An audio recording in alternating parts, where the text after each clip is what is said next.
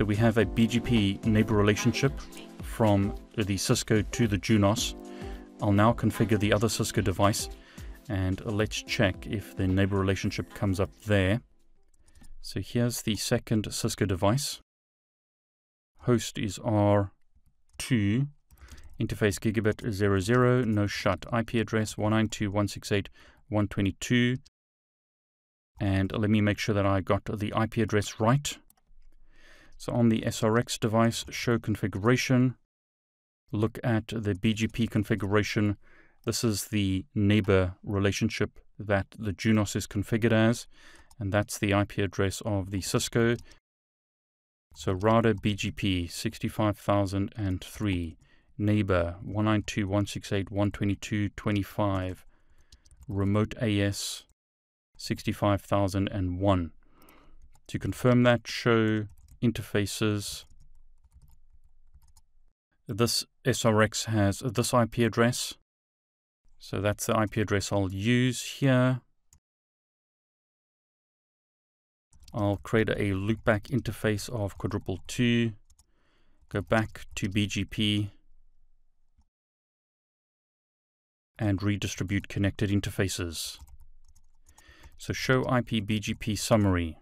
Neighbor relationship is still idle at the moment. Let's see if that relationship comes up. And there you go, it just has.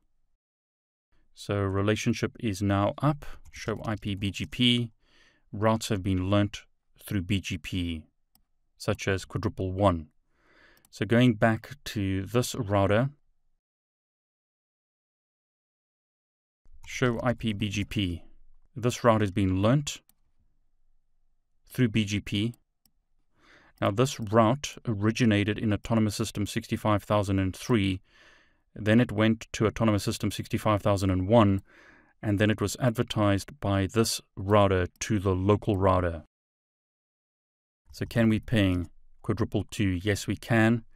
So, let's confirm that it's getting to this Cisco router. So, debug IP ICMP do the ping again, and we can see the debug on the Cisco router. Notice the IP address displayed is the SRX because of network address translation. So this device is being natted by the SRX device when traffic is being sent to the untrusted interface. So that looks good. What I'll do now is configure the Arista device. So on Arista by default, username is admin. There's no password. Enable, show run. There's the running configuration of the Arista device. So first thing I'm going to do is enable IP routing. Interface, Ethernet 1, no shut. IP address 192.168.122. I'll configure this as 11 slash 24 mask. It's not a routed port, so no switch port. Configure the IP address again on the interface. It's now accepted. So ping 192.168.122.1.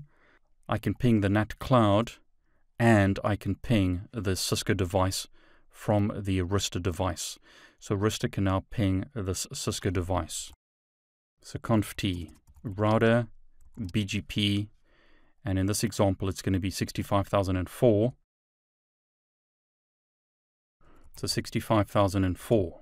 Neighbor 192.168.122.12. Remote AS 65,003. Interface loopback 0. IP address quadruple 3. Notice very similar to Cisco. Go back to BGP on the Arista. Redistribute connected interfaces. Show IPBGP summary. Neighbor relationship is currently active because we have to configure the Cisco side. So on the Cisco device, router BGP 65003, neighbor 192.168.122.11, remote AS 65004. And we can confirm that. Here it is. Or we can use a show run to view the BGP configuration. So show IP BGP summary. Currently idle on this side. Let's see if we can ping that neighbor. And just as I was doing that, notice the neighbor relationship came up. So we can ping the Arista, but again, show IPBGP summary. Neighbor relationships are both up at the moment. In other words, they established. Nothing is displayed here. On this side, show IPBGP summary. We can see that the relationship is established. On the Arista side, so show IPBGP. There are our BGP routes. So as an example, we can see that this network 1.1.1.1 was learnt from Autonomous System 65002, which is this router. It went to the SRX, went to the Cisco, was advertised by the Cisco to the Arista device. On this Cisco router, show IP BGP, it's learnt about the loopback of the Arista. Route was advertised by Arista, went to the second Cisco router, went to the SRX, was advertised to us by the SRX. So can we ping the Arista device? Yes, we can. So we've successfully configured this network with BGP. There's a BGP relationship between this Cisco device and the SRX, the SRX and this Cisco device, and this Cisco device and the Arista. As an example on the internal Cisco device, show IP route shows us the IP routing table. This IP address was advertised by Arista. This IP address was advertised by the Cisco device. These networks are advertised to the local Cisco router by the Juniper SRX device. I'll configure a default route on the Cisco device pointing to the SRX. So hopefully I'll be able to ping the NAT cloud, which I can. I'll enable IP domain lookup. And I'll enable a name server of Google.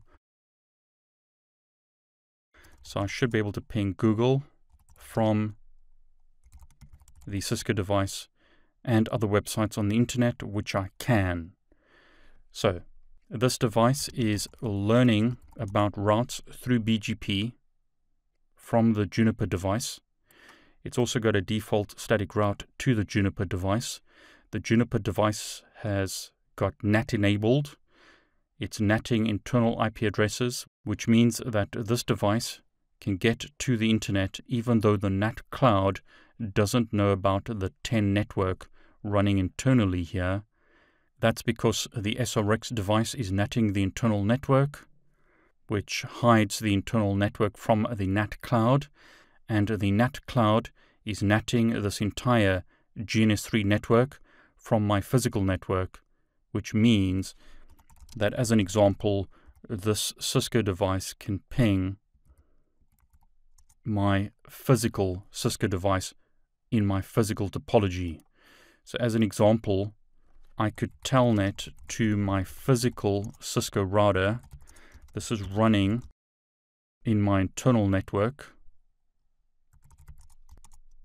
So if I did a debug IP ICMP here, this is a physical device running behind the NAT cloud. Notice this internal Cisco router can ping the physical Cisco 1941 router, and we can see the debug on the 1941 router.